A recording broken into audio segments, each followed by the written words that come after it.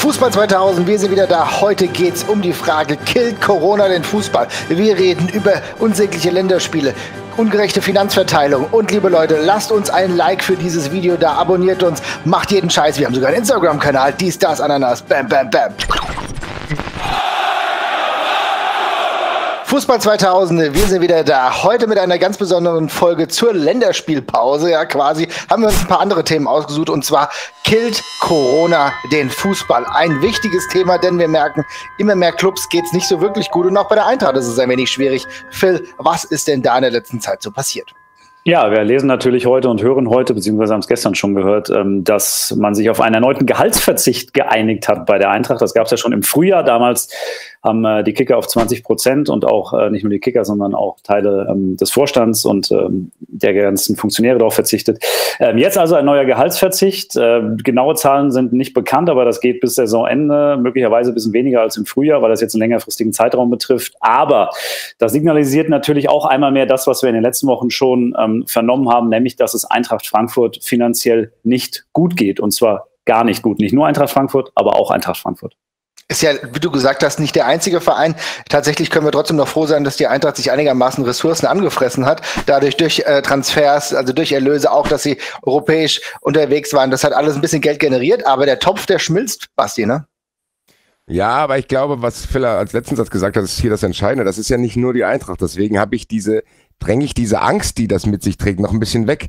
Weil die können ja die Bundesliga nicht auflösen. Das größte Problem, was ich dabei sehe, ist, dass so Vereine wie Schalke, Bremen, Eintracht, Köln Probleme bekommen und dass die Lücke zwischen den Vereinen, denen es völlig egal ist, woher das Geld kommt, äh, halt größer wird. Das, die Angst habe ich. Ich muss sagen, ich habe, vielleicht ist es naiv, aber ich habe keinerlei Angst, dass die Eintracht pleite geht. Egal, was sie sagen, vor wegen, wenn jetzt nächstes Jahr keine Zuschauer mehr kommen, wird's eng. Ich muss sagen, ich glaube vielleicht auch so ein bisschen, weil der HSV es immer wieder geschafft hat. Also, ja, ja. wenn der HSV noch existiert, ja. muss die Eintracht diese paar Monate, die es jetzt hoffentlich nur noch dauert, äh, irgendwie überstehen. Das heißt, aber warum sagen die das dann so, Basti? Glaubst du, das ist ein bisschen Politik oder ähm, warum? Mit Sicherheit wird es auch so sein zu sagen, klar, ich meine, jetzt kam eine Landesbürgschaft, es ist wahrscheinlich auch so, dass es aktuell so ist. Also es ist wahrscheinlich auch so, dass die Eintracht aktuell sagt, boah, wir wissen nicht genau, wie wir das machen sollen. Ich glaube aber trotzdem, dass es Möglichkeiten geben wird, weil wir schon gesehen haben, dass Vereine, denen es wirklich auch schlecht ging, das dann irgendwie geschafft haben, wo wir gehört haben, wenn es so weitergeht, sind die pleite. Ich glaube, dass das irgendwie am Laufen gehalten wird. Vielleicht ist es naiv von mir, vielleicht kenne ich auch die Zahlen nicht ganz genau genug. vielleicht bin ich da ein bisschen nachlässig oder einfach jetzt Corona abgestumpft. Aber dass ich irgendwie nachts aufwache, schweißgebadet und denke, oh, die Eintracht geht pleite, muss ich sagen, habe ich noch nicht. Wie ja, gesagt, vielleicht ist es naiv. Ich glaube das auch nicht. Vor allem haben die ja gesagt, dass sie diese 16 Millionen Bürgschaft nicht dafür nehmen müssen, um irgendwelchen Leuten auf der Geschäftsstelle das Gehalt zu zahlen. Und es geht darum, dass sie ihre Geschäftsstelle weiterbauen können und das Stadion ausbauen. Also wenn es dir wirklich so schlecht geht, dass du beide gehst, dann baust du das Stadion nicht weiter aus. Von daher mhm. glaube ich, dass diese Angst ob sie unbegründet ist, weiß ich nicht, aber da wird die DFL und weiß ich nicht, wer noch alles, ich glaube, eines dafür tun, dass, dafür tun, dass diese Bundesliga nicht stirbt. Was auch eine große Gefahr sehe ich wie Basti, dass da jetzt Vereine wie, naja, unser Lieblingsverein aus Leipzig und Hoffenheim und die Bayern und so weiter, denen das halt komplett egal ist, die halt irgendwo ihre Kohle hernehmen, dass die immer weiter oben abhauen. Und die Was Bundesliga heißt, wird dadurch nicht spannender, Freunde, glaube ich, durch diese Saison. Genau, du, du sprichst vollkommen richtig an, denn was halt wirklich passieren kann, wir müssen auch noch mal ganz kurz die finanzielle Situation der Eintracht beleuchten. Natürlich ist es im Endeffekt so, dass dadurch, dass gut gewirtschaftet wurde oder weiter gut gewirtschaftet wird, die Eintracht ist ein finanziell stabiler Verein, die jetzt jahrelang auch gut, gute Arbeit gemacht hat. Deswegen kann man weiter erbauen. Deswegen hat man halt auch gute Deals gemacht. Ob man machen, können das mögen oder nicht mit der Deutschen Bank, aber das ist finanziell lukrativ gewesen. Du hast den äh, Paketdienstleister, da gab es überall Geld. Insofern die haben schon smart gewirtschaftet, auch was jetzt in Sachen Digitalisierung passiert, ist, glaube ich, ein interessanter, guter Ansatz. Aber um jetzt darauf zurückzukommen, was du gesagt hast, Marc, ist natürlich ganz spannend, denn am Ende wird es vielleicht so sein, dass die ganzen Clubs wie VW beispielsweise, denen alles scheißegal ist, die haben ja, äh, die sind weiter auf diesem Niveau.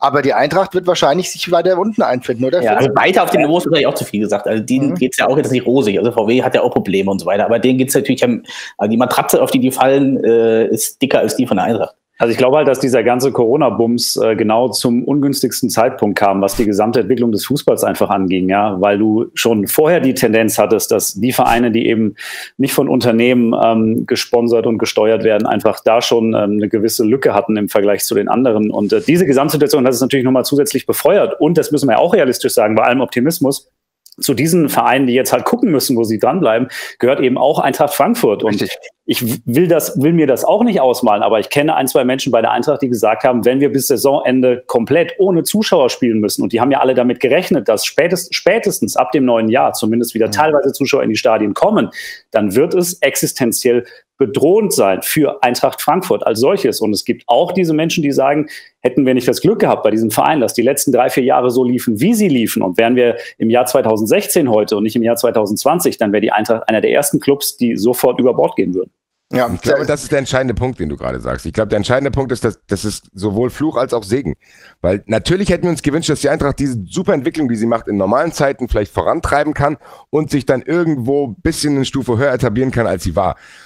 Das ist jetzt ein bisschen weg, aber was du gleichzeitig sagst, ist, dadurch, dass es Vereine gibt, denen safe schlechter geht, da bin ich mir sicher. Also ich bin mir sicher, dass die Eintracht, wie ich es gesagt habe, dadurch, was Marvin gesagt hat, die Deals, die eingefädelt wurden, alles, was vorangetrieben wurde, dass es denen dadurch besser geht, als ein Großteil der Vereine, die ähnlich aufgestellt sind wie wir. Mhm. Und das da ist ja auch, glaube ich, mein Fallschirm, den ich in meinem Kopf habe, zu sagen, okay, bevor die Eintracht pleite geht, gehen fünf andere pleite und das wird, wie Weide sagt, das werden die nicht zulassen. Du wirst nicht plötzlich sagen, ja, ab Sommer sind sieben Bundesligisten, die gibt's nicht mehr. Also da glaube ich schon, dass da Möglichkeiten gefunden werden. Und die Eintracht ist dadurch, dass sie es so gut gemacht hat, mit Sicherheit nicht der Erste, der runterfällt. Das heißt, ich rechne damit, wenn überhaupt, dass vielleicht ein, zwei Vereine wirklich krass irgendwie am Arsch sind.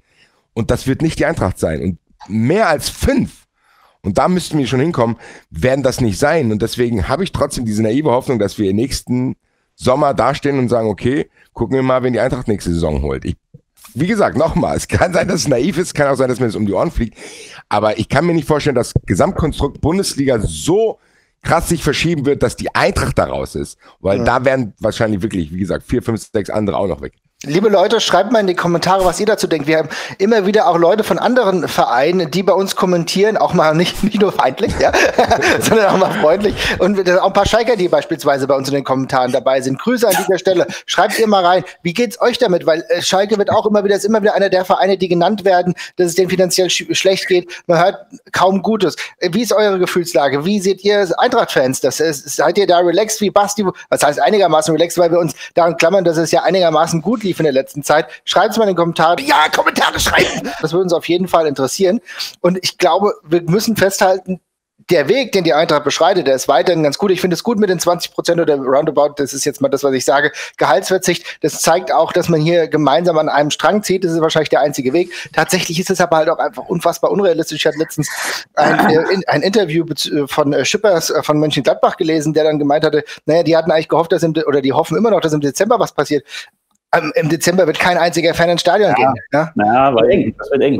We weiß ich nicht. Also auch das ist ja das Thema, da kommen wir, glaube ich, gleich noch drauf, wenn wir über Zuschauer reden, ähm, dass die Bundesliga das nicht ewig mitmachen wird, ähm, weil die Bundesliga glaubt, da in einer ganz guten Verhandlungsposition zu sein, juristisch betrachtet, um trotz der Gesamtlage gerade Zuschauer wieder in die Stadien zu lassen, weil genau dafür, für diese Situation, die wir jetzt haben, diese Hygienekonzepte ja auch ausgerichtet sind. Dann kommen wir doch genau dazu. Ich finde das eine wunderbare Überleitung. Führt es doch weiter aus, was du gerade ähm, nebulös angesprochen hast bezüglich einer, äh, einer, einer juristisch guten Lage. Ja, Also äh, viele Bundesliga-Clubs haben sich zusammengeschlossen. Da liefen schon vor Wochen ähm, ganz mhm. spannende Gespräche im Hintergrund, unter anderem auch initiiert vorneweg von Eintracht Frankfurt äh, mit Axel Hellmann an der Spitze. Und es gibt da eine wirklich breite Front, da herrscht klarer Konsens, dass alle gesagt haben, jetzt im November halten wir nochmal die Füße still. Und natürlich ähm, können wir jetzt nicht sofort da zum Gegenschlag ausholen. Aber es ist eben nun mal so, dass diese Hygienekonzepte über Monate ausgearbeitet wurden, ähm, dass alles, was, und das wurde ja teilweise unter Realbedingungen schon erprobt, dass das alles so wunderbar funktioniert hat und dass viele Clubs glauben, dass sie juristisch in der Lage sind, dementsprechend dann auch erwirken zu können, dass da es keine belegbaren Fakten dafür gibt, dass diese Konzepte nicht funktionieren, dass man möglicherweise schon im Dezember wieder dazu übergehen wird, das Ganze eben dann juristisch auch anzufechten. Das Beide das würde ich für eine unglaublich also ich, schlechte Idee halten, muss ich sagen. Ja, ich wollte das Gleiche sagen, weil ich glaube, dann wird sich der Fußball äh, gesellschaftlich in der Lage wiederfinden, wo es richtig schwer wird, da wieder rauszukommen. Also äh, du kannst ja nicht alles hier zumachen, außenrum als Fußball-Bundesliga hingehen und sagen, hier nur weil wir jetzt Geld brauchen, äh, machen wir die Stadien wieder auf. Nein, das, nicht. Ja. das wird äh, in der Gesellschaft nicht ankommen, das wird nicht funktionieren. Also der Fußball hat, der Fußball hat, hat bei uns ja eine Sonderrolle in der Gesellschaft, schon immer gehabt. Und ähm, viele setzen eben darauf, und da reden wir jetzt nicht nur von Fußballclubs. Es gibt mhm. alle anderen Sportarten, die auf den Fußball gucken, weil sie sagen, der Fußball zum einen mit seiner Strahlkraft, mit seiner gesellschaftlichen, zum anderen mit den finanziellen Möglichkeiten. Das ist der eine Vorreiter, der uns allen Türen und Tore öffnen kann. Und wir reden auch nicht nur vom Sport, wir reden von, von, ähm, von Schauspielhäusern, wir reden von, vom ganzen Gastrogewerbe, von all dem, was wir Kultur nennen und was jetzt in letzter Zeit so brutal runtergefahren wurde, die alle gucken ein Stück weit auf den Fußball, weil sie sagen, irgendjemand muss vorne weggehen und muss das, was die ganze Zeit gefordert wurde von der Politik, entwickelt Konzepte, die funktionieren, dass wir jetzt lernen, mit Corona zu leben. Es werden die Bereiche gerade hauptsächlich dann wieder dicht gemacht, wo es keine Konzepte gibt. Ähm, nee, pardon, andersrum. Es werden die Bereiche dicht gemacht, wo es Konzepte gab. Und ähm, der Fußball ist da in der Lage, glaube ich, entsprechend vorne weg zu marschieren. Ich halte das okay. Basti, du wolltest was dazu sagen? Ja, ich muss sagen, ich glaube, das wäre ein fatales Signal, wenn die Bundesliga das auf dem juristischen Wege machen müsste. Also ich glaube weiterhin, dass sie mit der Politik da eng zusammenarbeiten müssen, dass man das möglich macht und dass man sagt, okay, das ist jetzt recht zu fertigen. Aber nicht gegen die Politik. Zu sagen, wir klagen jetzt dagegen, weil wir unbedingt 8000 Zuschauer gegen Union Berlin im Stadion haben wollen oder sonst irgendwas. Ich weiß nicht, ob das so eine, klar hat das finanziell eine Wichtigkeit, aber ich weiß nicht, ob du das transportieren kannst, zu sagen, in Zeiten, wo wir nicht mal wissen, ob wir alle im Dezember nicht vielleicht gar nicht mehr raus dürfen, ob nicht vielleicht alle sogar zumacht und nicht irgendwie eingeschränkt wird, wer weiß das schon. Da zu sagen, wir klagen jetzt dagegen im Dezember. Ich glaube aber, was mich stört, ist der Dezember. Ich glaube vielleicht für Januar, Februar, wenn es sich ein bisschen entspannter zu sagen, okay, wir brauchen eine Rückrunde wieder, Teilzuschauer. Aber die Kurzfristigkeit sehe ich da nicht. Und ich glaube auch, dass die schlau genug sind, das zu machen. Ich glaube nicht, dass wir jetzt hier am 1.12 eine Bundesliga haben, die vor Gerichte zieht, um durchzusetzen, dass sie Zuschauer haben wird. Also das werden die nicht machen. Im Gesamtkontext muss, muss, das passen, weil es ist genauso wie du sagst. Wenn jetzt ja. natürlich im Dezember das Ganze nochmal verschärft wird und ja. sieht ja nicht so aus, dass es gelockert wird, dann, dann, ist es klar. Aber sollten sich die Zahlen im Dezember stabilisieren, sollten sie runtergehen, die sind alle in den Startlöchern und ähm, die wollen im Januar wieder, dass es, dass es aufwärts geht, auch mit den Zuschauerzahlen. Und wenn dann nicht von der Politik aus dann aktive Signale kommen dahingehend, dass sie dann bereit sind, dagegen etwas zu unternehmen, geben, weil sie sagen, es muss ja auch weitergehen. Das halte ich für mehr als nachvollziehbar. Das ist ein sehr guter Punkt, weil im Endeffekt äh, geht auch alles auf äh, Legitimationsbasis. Ne? Wir müssen auch überlegen, äh, was kannst du den Menschen verkaufen? Ne? Du hast jetzt eben wieder die Debatte gehabt, wir hatten jetzt gerade Länderspiele das, in dieser befinden wir uns. Rund 100 Tests sind beispielsweise für diesen Kick gegen die Ukraine flöten gegangen. Tests, die momentan auch gerade schon wieder ein bisschen knapp werden und so. Und das sind alles Dinge, das musst du, ver, das musst du verargumentieren. Und ehrlich gesagt stellt sich ja auch für uns immer wieder die Frage, warum gibt es aktuell Länderspiele, wenn, wie wir sehen in der Bundesliga, ein, ein ähm, ein Spieler nach dem anderen wieder irgendwie mit Corona zurückkommt zu den Clubs. Ja, guck dir TSG Hoffenheim an. Also das lässt sich da schon schwer verargumentieren und genau dieses Fass aufzumachen. Ich glaube, da ist es wahrscheinlich wirklich ganz smart, dann eher auf den Januar zu schielen und gar nicht den Dezember mehr anzupeilen. Ähm, die Frage, die ich mir aber grundsätzlich stelle, haben wir denn überhaupt da noch, also gibt es noch so viele Fans, wenn es wieder einigermaßen möglich ist, die ja Bock auf Fußball haben oder kann es schon sein, dass sich der Fußball und die Fans ein wenig voneinander entfremden, beide?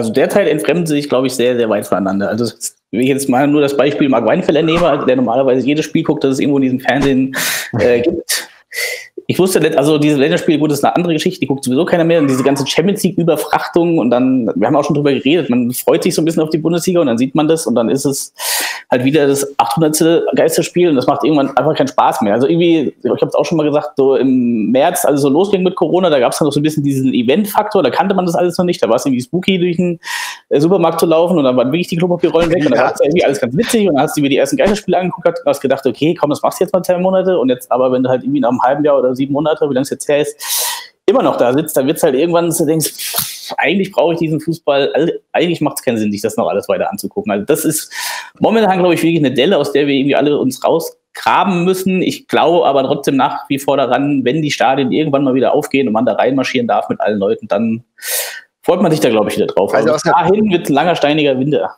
also aus einer persönlichen Sicht muss ich sagen, ich habe gestern, gut, ich habe mir jetzt vielleicht nicht das absolute Knallerspiel ausgesucht, als ich Österreich gegen Nordirland angeguckt habe, gedacht, okay, komm, wir gucken mal die zwei, die zwei Frankfurter äh, Legionäre, äh, Hinti und Ilse.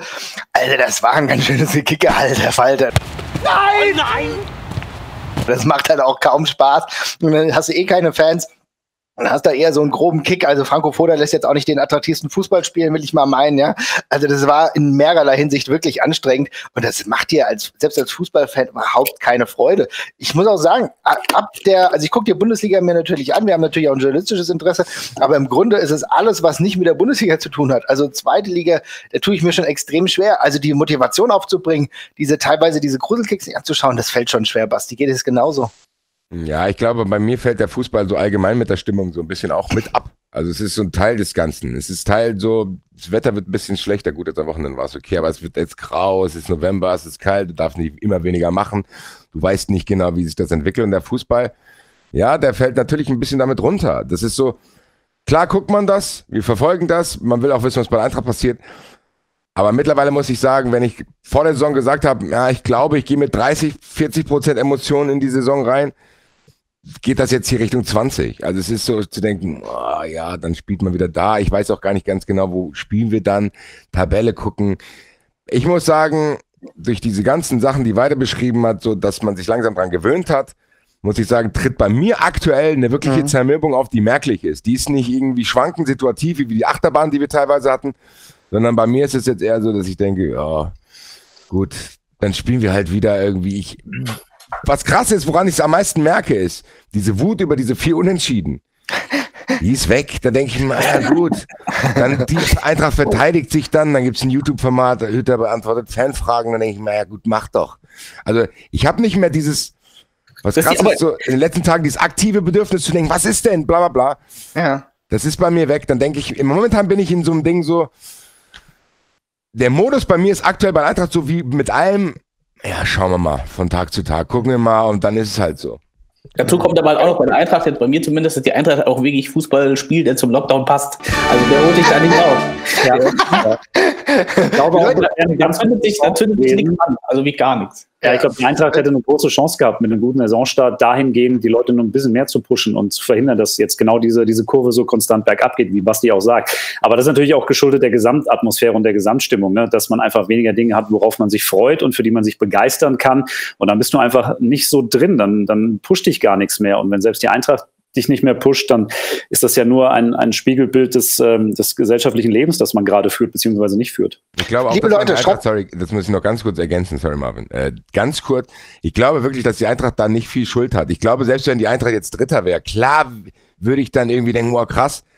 Aber ich glaube einfach, dass das, was du gesagt hast, was halt fehlt. Und das, was fehlt, sind Freunde, rausgehen, einfach alles, was irgendwie eine Normalität hat das hat ja auch immer mit Eintracht zu tun gehabt. Und ich glaube, was Weide sagt, so, am Anfang war das interessant, aber mittlerweile merkst du halt, wie lange das schon da geht. Und mittlerweile merkst du halt, dass du das einfach auch nicht simulieren kannst, was halt gerade fehlt. Marvin hat es, glaube ich, in einer der letzten Sendungen gesagt, so rausgehen, heute werden wir jetzt bei Stuttgart auswärts, wir werden dies gemacht, das gemacht das hat natürlich Auswirkungen, dass man das nicht mehr machen kann. Das wollte ich einfach nur noch mal festhalten. Sorry, Marvin. Nö, ist alles gut. Du hast ja vollkommen recht. Ich will äh, die, un, unsere Freunde mal hier fragen in den Kommentaren, weil in den letzten Wochen kam es nämlich immer schon wieder vor. Da war es nämlich total häufig. Dass, ja, da kam es nämlich, äh, nämlich relativ häufig vor, dass die gesagt, auch geschrieben haben, hier, ich habe eh die Lust am Fußball gerade verloren. Und äh, für mich ist da nicht mehr der Vibe. Da schreibt ihr mal in den Kommentaren, wie ihr gerade die Situation seht. Ist es bei euch komplett, komplett egal? Ihr seid durch Corona jetzt noch größere Fans geworden, weil ihr alle Spiele eh verfolgen könnt. Das kann ja alles sein. Es gibt auch unterschiedliche Fanarten. Ich glaube, es gibt auch unterschiedliche Herangehensweisen. Ja, das ist die nächste Frage, die ich, an, die ich an euch stellen wollte. Wie seht ihr das? Ist es so, dass es vielleicht eine Generation von Fans nicht mehr geben wird, die zum Stadion gehen und dann vielleicht eine neuere Generation herankommt? Weil ich sehe in den Kommentaren, äh, bei, bei Twitter sehe ich, viel, sehe ich viele Leute, die irgendwie schon ein bisschen gedanklich mit Fußball abgeschaltet haben. Aber das heißt ja nicht, dass es nicht eine neue Generation gibt, oder? Basti, wolltest du dazu was sagen? Oder? Ja, ich, ich, ich glaube, die gab es schon immer. Also ich glaube, mhm. für jemanden, der sowieso, keine Ahnung, der sowieso die Eintracht-Spiele immer nur im Fernsehen geschaut hat. Für den fehlt natürlich diese Stimmung, die dann durch den Fernseher kommt. Äh, aber viel krass ändert sich für ihn nicht. Die Spiele finden statt, er kann das sehen. Er ist sowieso nicht gewohnt, ins Stadion zu gehen. Das habe ich halt von vielen gehört, auch mit Bremer Fans, mit denen ich gesprochen habe, so. Ähm, die sagen, gut, ich bin manchmal nicht im Stadion, also ich bin meistens nicht im Stadion und dann ändert sich für mich nichts. Klar kann ich verstehen, dass das Leuten fehlt. Ich glaube, wo du hier unterscheiden musst, warum das bei mir so krass der Stecker gezogen ist, weil, ist, weil ich immer ins Stadion Stadionerlebnis ist weg. Ja, ja. Und ich glaube, was du sagst, Leute, die halt das nur im Fernsehen verfolgen, können das wahrscheinlich auch leichter verarbeiten. Die gucken sich dann, du kannst dich ja auch damit beschäftigen. Haben wir auch, haben wir auch selber gemacht. Wir haben uns aufgeregt, wer, wie stellt er da auf, was machen wir da? So ein bisschen Simulation von diesem Dings hattest du ja. Aber ich glaube, das geht nicht so lange. Ich glaube, die, die, das ist nicht genug Treibstoff einfach. Ja für die nächste Zeit. Zu sagen, soll ich mich jetzt nächstes Wochenende wieder aufregen, weil irgendeiner da nicht aufgestellt ist? Nein, ich will mich auch aufregen, weil ich aus Leipzig nach Hause komme, da irgendwelche Leute mit Bullenhut sehe und dann irgendwie sauer nach Hause komme. So, wird nicht passieren. Was mache ich? Ich mache einfach den Fernseher aus. Pff, alles klar. Was mache ich dann? Rufe ich einen Freund an? Ach nee, wir dürfen uns nicht treffen. Was mache ich eigentlich im Fitnessstudio? Nein, darf ich nicht. Was mache ich? Gar nichts mache ich mehr! Ich sitze die ganze Zeit rum. Ich kann einkaufen und dann die Leute schreien sich an. Maske ja, Maske nein, keine Ahnung. Natürlich bin ich also sauer, aber eigentlich schlafe ich die ganze Zeit. Ich könnte den ganzen Tag schlafen, wenn ich ehrlich bin. Jetzt rege ich mich doch wieder auf. Ja. Das war ich auch sehr viel. Du bist ein wahrer Held dadurch, äh, Bastian. Kriegst du das dabei, die Pandemie jetzt nicht weiterträgt. Und ich schlafe auch sehr, sehr viel. Ich habe gestern bis elf geschlafen. Ich habe zwei Mittagsschläfe gemacht, bin um zehn ins Bett. Ja, Leute, das ist ja auch mal ganz nett, aber doch nicht auf Dauer, ey. Ja, ey, nicht auf Dauer. Ey, da muss man aufpassen. Ich gewöhne mich da dran, dass ich am Ende alle drei Stunden erstmal schlafen muss. Ja, das, das später können wir keine. Termine sage ich, ich muss hier kurz hinlesen. Erstmal. Später können wir keiner normalen Arbeit mehr nachgehen, weil wir äh, ja. schlafen müssen. Das ist tatsächlich ein großes Problem. Aber ich, ich kann leider nur drei Stunden am Stück arbeiten. Da muss ich mich. Haben Sie einen Ruheraum? Da muss ich habe auch einen Attest dafür hier. Ich bin Corona-Opfer. habt ihr denn, aber ich will euch nochmal fragen, beide oder Phil, ähm, habt ihr denn das Gefühl, dass, dass es vielleicht auch eine Generation von aktuellen Fans gibt, die immer ins Stadion gegangen sind, die jetzt nicht mehr ins Stadion gehen werden, weil sie irgendwie jetzt so eine Abkopplung vom Fußball haben? Beide, was denkst du? Glaube ich ehrlich gesagt nicht. Also, wie gesagt, jetzt sind wir gerade alle in einer Delle, da macht es keinen Bock mhm. mehr, Fußball zu gucken, aber das ich als Grundoptimist, es wird auch wieder besser. Also wenn dann irgendwann im März, das ist halt wirklich noch lang hin, dann wird auch mal wieder gutes Wetter und dann machen irgendwann diese Stadien wieder auf und dann gehen natürlich gehen da alle hin. Also ich glaube jetzt nicht, dass man dadurch jetzt unfassbar viele Fans verlieren wird auf Dauer. Ehrlich gesagt glaube ich das nicht. Weil das ist ja die Gefahr, Eintracht, also und auch viele andere Vereine die ganze Zeit sehen. Will, du hältst, hältst das auch für unbegründet? Ja, ich glaube, man darf den, den aktuellen Mut der Leute, den darfst du jetzt auch nicht überbewerten, weil wir mhm. alle in einer komplett anderen Situation sind, die wir alle so auch noch nie kennengelernt haben. Und wenn dann heute, selbst wenn heute, ich kenne auch Stadiongänge, Gänger, permanente Stadiongänger, mhm. die sagen, ah, ob ich danach wieder ins Stadion gehe, ich genau. glaube mhm. eher nicht. Aber das ist alles Stand heute und diese Eigendynamik, die ein, ein volles Fußballstadion dann wieder entfachen kann, die darfst du nicht unterschätzen. Selbst bei den Leuten, die heute sagen, ich gehe da nie wieder hin, weil ich habe mit dem Fußball abgeschlossen. Wenn es wieder soweit ist, Leute, die Magie des Fußballs, eines vollen Stadions, ich habe gestern aus Versehen, ich gucke mir sowas eigentlich nicht mehr an, einen Clip geguckt, ja. hier nordirische Fans, EM 2016 singen Sweet Caroline, habe ich fast angefangen zu heulen ja. und gemerkt, wenn das zum ersten Mal wieder im Waldstadion, wenn da Menschen singen und du hast ein volles Stadion. Ey, ganz ehrlich, wenn es da nicht packt, der, der hat den Fußball ja. nie gelebt.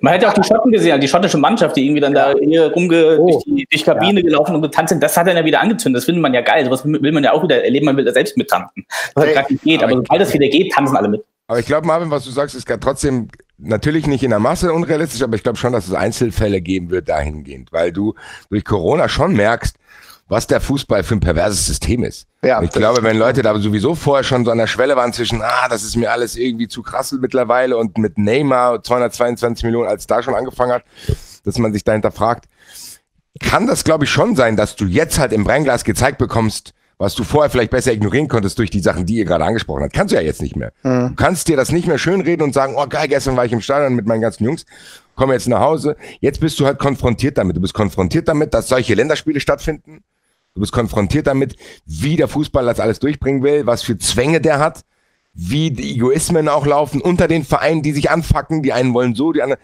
Du merkst halt wirklich trotzdem schon mit der Taschenlampe drauf, dass trotzdem am Ende geht es ums Geld. Und ich glaube schon, dass der ein oder andere zu Hause sitzt, wenn er jetzt diese Ablenkung durch diese Phänomene mit Freunden nicht hat, schon sagt, boah, ich weiß nicht, ob das noch was für mich ist, weil mhm. zumindest die Gedanken ja kann ich nachvollziehen. Ja, die gedankliche Entfremdung wird wahrscheinlich auf jeden Fall bei einigen stattfinden. Allein durch diese Perversität, die du jetzt gerade aufgezeigt hast. Wir, ich will es nochmal sagen, die ganzen Corona-Tests, die teilweise für absurde Länderspiele mittlerweile rausgehauen werden, wo du auch die Frage stellst, sie haben gerade an, andere Probleme. Und wenn wir dann übrigens uns auch anschauen, verschiedene Forscher haben herausgefunden, dass es ja aktuell genauso ist, dass durch, gerade durch Reisen und auch selbst durch Länderspiele momentan halt einfach Corona wieder in die Bundesliga transportiert wird. Was halt, brauchst jetzt kein Wissenschaftler sein, um das herauszufinden, aber du merkst es schon. Die Forscher haben herausgefunden. Ja, ja, ich wollte, besonders, ich wollte es besonders nebulös halten, weil ich jetzt gerade den, äh, den Link zum Deutschlandfunk jetzt nicht mehr finde.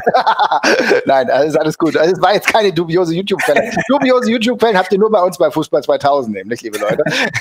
Schreibt mal in die Kommentare, was ihr dazu sagt. Aber ich will noch mal sehen, dass wir vielleicht so einen Silberstreif am Horizont finden. Denn diese ganzen quatschigen Länderspiele, die haben wir jetzt hier nicht umsonst gemacht. Denn es soll irgendwann die Europameisterschaft 2020 im Jahr 2021 geben. Und Phil, kannst du uns da irgendeine Hoffnung geben? Macht das Sinn, diese Durchführbarkeit einer Europameisterschaft, die in verschiedenen Ländern stattfinden soll? Ich wollte gerade fragen, beim Thema Hoffnung, was, äh, da müsste ich jetzt ja eigentlich sagen, nein, es wird keinesfalls stattfinden, damit Menschen keine Länderspiele gucken müssen. Ja. Aber nein, ähm, ich bin mir ziemlich sicher, und das sind auch meine Informationen, dass das stattfinden wird, genauso wie die Olympischen Spiele stattfinden werden. Ich glaube nicht, dass es realistisch ist, das so stattfinden zu lassen, wie sie es im letzten Sommer vorhatten, ähm, mit den zwölf verschiedenen Städten in diversen Ländern.